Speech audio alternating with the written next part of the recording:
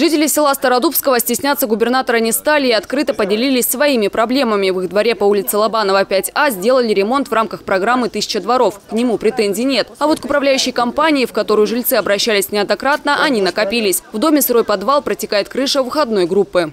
Ну скажи громко. Когда сделаешь? зимы. А? До зимы. Да нет, до сентября сделают. До зимы это что-то неправильно. До вопрос 1 сентября задачу ставлю. Дальше губернатора повели к дороге. Когда идут дожди, здесь скапливается вода. Кроме того, не убирают песок, который вместе с пылью летит прямо в окна домов. Услышали. Значит, вот поручение я даю министру.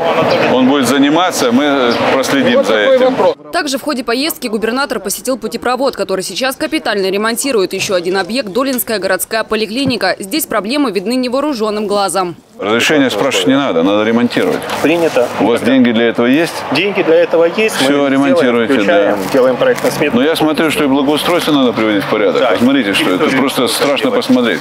А люди-то отсюда заходят? Да. Ну, ребята, я скажу так, что можно было бы даже переложить то, что есть. Ну, криво и косо. Посмотрите как. Оно, да, оно здесь постоянно гуляет, поэтому все это будем переделывать. На капитальный ремонт фасада и благоустройство территории уже готова проектно-сметная документация. Нашлось место и благодарностям. Сахалинка Тамара Кузнецова поделилась с губернатором результатом своего приема у врача-невролога. примет, всегда объяснит и скоро вызовет. Ну, Вот умница, у меня сестра сильно болеет. Она сколько раз ее уже спасала. Все, успокойтесь, не Все, волнуйтесь. дай бог здоровья. Сделаем. В целом, жители района довольны доступностью медицины. Это стало понятно и на встрече с населением. Много вопросов касалось аварийного жилья, сферы ЖКХ, а именно тем водоснабжения, водоотведения и газификации. Также прозвучали просьбы о помощи от многодетных семей. Мои дети останутся без квартиры, без денег, без всего вообще.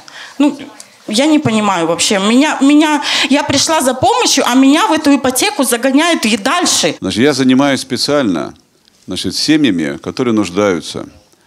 И у меня есть специальная программа.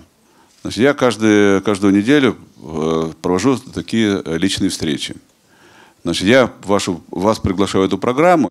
На личную встречу губернатор пригласил еще одну семью. Они примут участие в проекте «Борьба с бедностью». Мария Кондиус, Максим Чернобровкин, телекомпания ОТВ.